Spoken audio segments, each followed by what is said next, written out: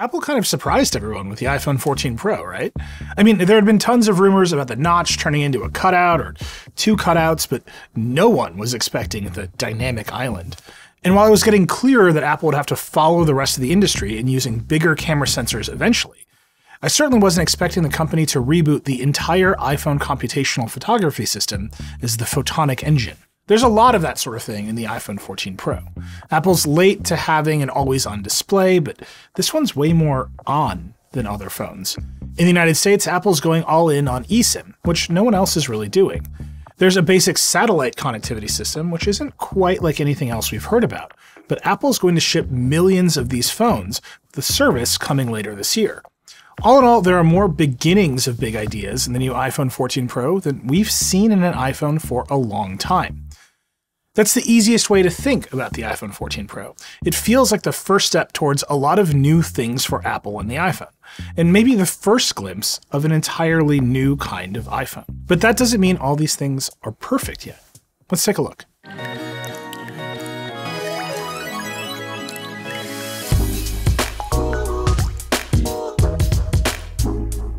We have to start with a dynamic island, right? The name is ridiculous, but it's fun. Everyone's talking about it, which is not normal for a smartphone status indicator system. That's a win. That's where I live every day. But let's just agree that we're going to call it the island and move on. So the island replaces Apple's notch. It's where the front camera and the Face ID system live, since they've got to take up some place in the front of the display. Here's the thing about the notch though. In almost every review going back to the iPhone 10, I've said, hey, after a couple minutes, you don't notice the notch. The island is different. You are supposed to notice it. It's located lower on the screen than the notch, and if you run your phone in light mode like I do, it's actually a high contrast interface element. It's a black pill shape in the middle of white screen. It's right there. You're going to see it, especially since it's animating and moving all the time. Now, it's better in dark mode. In fact, I would go so far as to say this is the first iPhone you should definitely run in dark mode because of it. So why did Apple go from the notches there, but you can all but ignore it, to the dynamic island is here and you are going to pay attention to it? Well, it turns out that over the years, there have been like three or four different status indicator systems added on to iOS. Plugging in a charger or flipping the mute switch brings up an overlay. Having a call in the background puts a green pill in the corner. The Maps app is a blue pill. Connecting AirPods is another overlay. Some things, like timers and music playing in the background, haven't really had status indicators at all. The island is Apple's way of replacing and unifying all those older status systems with a new home for system alerts, and making it work for things like music and the new Live Activities API that's coming to iOS 16 later this year, which will allow apps to share even more background info for things like your flight status or a sports score. The simplest way of understanding the island is that it's basically a new widget system built on top of that Live Activities API. And the widgets can have three views. The main view, this expanded view, and this ultra minimal icon when you've got two things going at once. Here's a list Apple sent over of all the things that will support the island at launch, before Live Activities arrives and third parties can use it too. So that's the concept. The execution is obviously where the action is. And like all first versions of anything, Apple's made some choices that really work, and some others that, eh. So here's a big choice that really works, and it's just like purely Apple. One of the reasons that it's called the island is that it's meant to float over the rest of the system. It's a layer on top of iOS, supposed to feel more like hardware than software, almost like a secondary display that can get bigger or smaller. To get this to feel right, Apple's actually using a new dynamic subpixel anti-aliasing system that makes the edges of the island up to three times crisper than all the other animations in iOS. Here's a macro shot of the individual RGB subpixels of the display being anti-aliased to create a sharp edge for the island. In normal room lighting, this really works. It feels like the cutout on the display is getting bigger and smaller, and the animations like this drop effect for when the island splits in two are super fun. In sunlight or brighter light, yeah, you can see the camera sensors and the illusion kind of goes away, but it's still cool. Other big thing that works is that moving all these disparate status indicators to the island and making them worth paying attention to is actually pretty great. It's nice having call info right on the screen. It's genuinely useful having your timers right there. Making things like AirDrop and Face ID all show up in consistent ways in the same place make those things easier to understand, which is great. The thing that kills me is that in the keynote and all the ads, Apple shows the island as a thing that's worth interacting with. It's always moving and going back and forth between the main view and the expanded view. In reality, it is not like that at all. The island isn't a primary interface element. It sits over whatever app you're actually using, and apps are still very much the main point of the iPhone. In fact, tapping on the island doesn't open that expanded view. It just switches you back to whatever app that controls the widget. To get the expanded view, you have to tap and hold. This feels exactly backwards to me. Now, Apple knows I feel this way. The idea, apparently, is that things should be as simple as possible, and going back to the app is the simplest thing. Nah, I don't know. I think a tap should pop open the widget, and I definitely think you should at least be able to choose. This is kind of the whole tension of the island. It's much more noticeable and useful than the notch, but you're not really supposed to interact with it. It's background information. All those questions about whether you're gonna get fingerprints all over the camera, like, well, as it stands, you don't touch this thing very much at all. But because it's so much more prominent, you're looking at it all the time. I'm using it with a bunch of apps that haven't been updated, so it kind of covers up some content because it sits lower on the display. So right at this second, the trade-off between how noticeable it is and how useful it is is a little out of whack. It doesn't quite do enough to always be in the way. Now I think all this might change when that Live Activities API rolls out later this year, which is the other big thing Apple did right. It made this system available to third-party developers. But right now, the Dynamic Island feels like one of those things that needs a year of refinement and developer attention before we really know how important it is. The big feature of the iPhone 14 Pro camera system is the new 48 megapixel main camera sensor. Apple's actually a few years late to this trend. Samsung has used 108 megapixel sensors since 2020, and Google added a 50 megapixel sensor to the Pixel 6 Pro last year.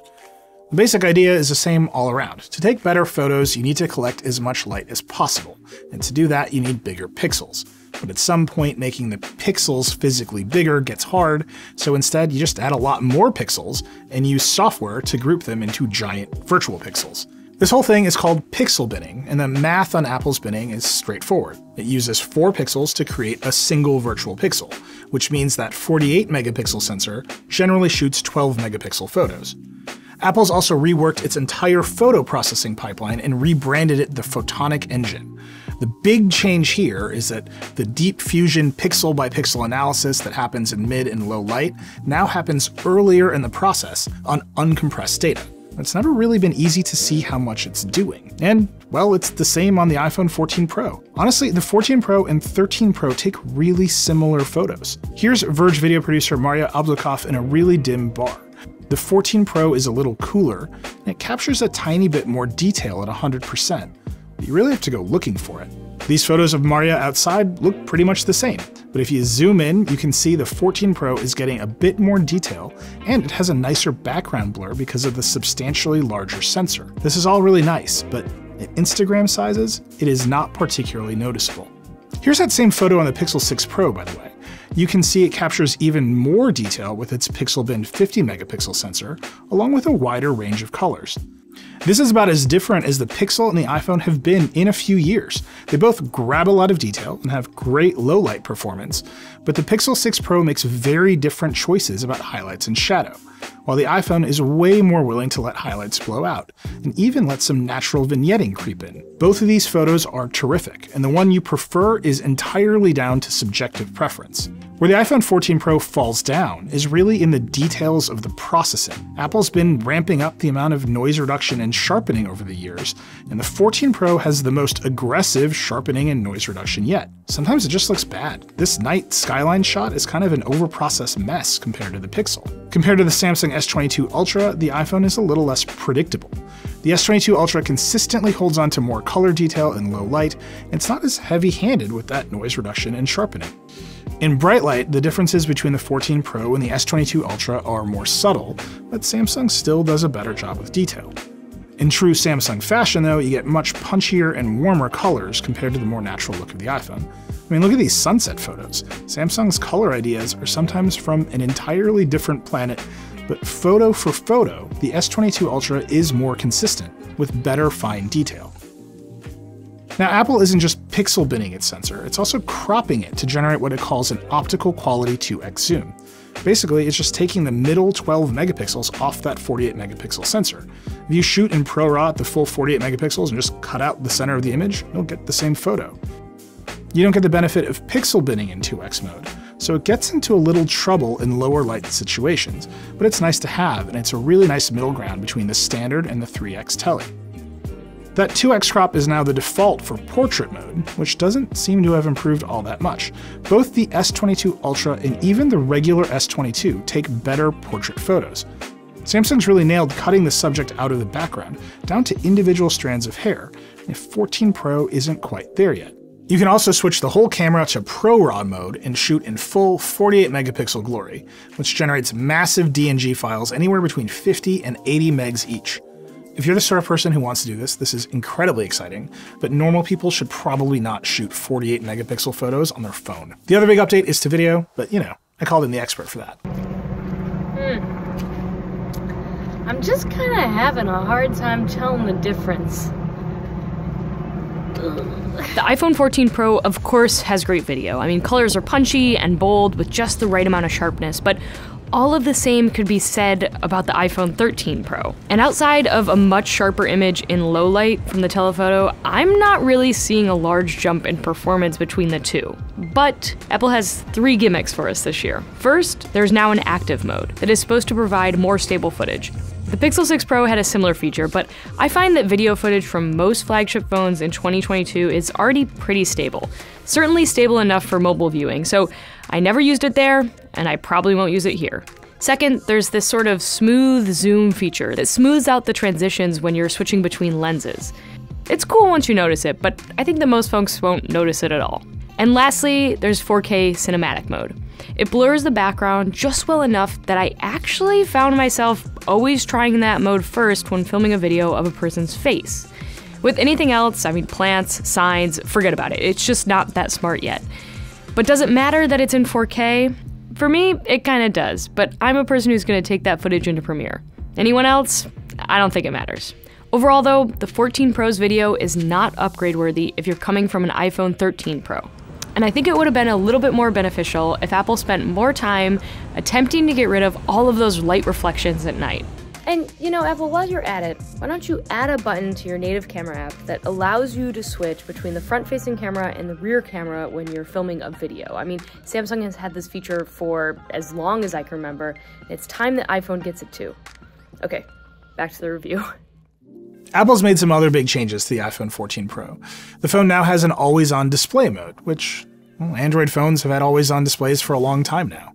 It's fine. The display refresh drops to just 1 Hz and the brightness goes super low to save battery life. Apple's done some really nice work here to keep wallpaper colors accurate in the low power mode, but honestly, I've been fooled into thinking my phone is awake one too many times, and I might prefer a much simpler pixel style black and white clock.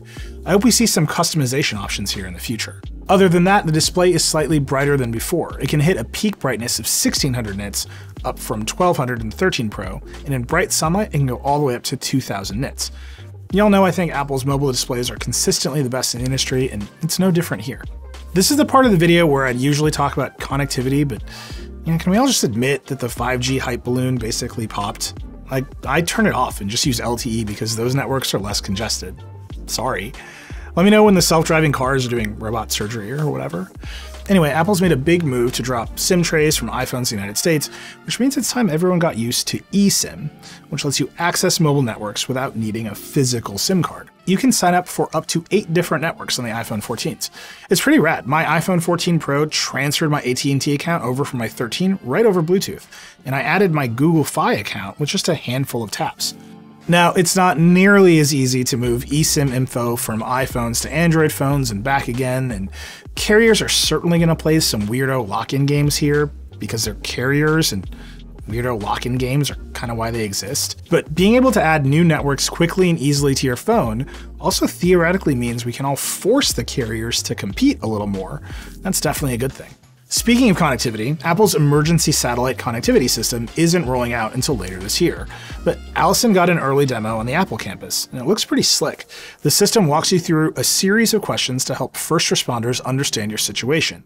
Then it shows you where to point the phone to access the satellite. We've got way more on that in her review of the iPhone 14. Speaking of Allison, she's also been testing the iPhone 14 Pro, while Becca and I have tested the iPhone 14 Pro Max, and all three of us sort of feel like the battery runs down a little little bit faster than the 13 Pro. Now, to be fair, All three of us were running around taking lots of photos and videos and generally testing the hell out of these phones for the past week. But you know, we test a lot of phones like that. Apple says the 14 Pro and 14 Pro Max should get slightly better battery life than the 13 Pros, and yep, I still got through a full day with the 14 Pro Max, so maybe it was just the always on display taking a toll, but it's something I'll be keeping my eye on in the future. So that's the iPhone 14 Pro. The way I've been thinking about it is that the iPhone 13 Pro was the culmination of a lot of ideas for Apple. It was confident and complete and kind of hard to criticize. The iPhone 14 Pro, on the other hand, is the clear beginning of lots of new ideas, like the dynamic island, the new camera, even that satellite connectivity system. Because these ideas are new, they're inherently incomplete, so there's lots to criticize. But they're worth criticizing, which is its own kind of victory, and a sign that Apple isn't holding still with the future of the iPhone. I'm into that. What I don't know is if all these new features are worth it yet. If you're the sort of person who's willing to accept some rough edges to be on the bleeding edge, you're gonna have a lot of fun with the iPhone 14 Pro. You'll be figuring it out right alongside Apple. But for everyone else, it might be worth holding off a year. Look at these clouds. Oh my god. Look at that.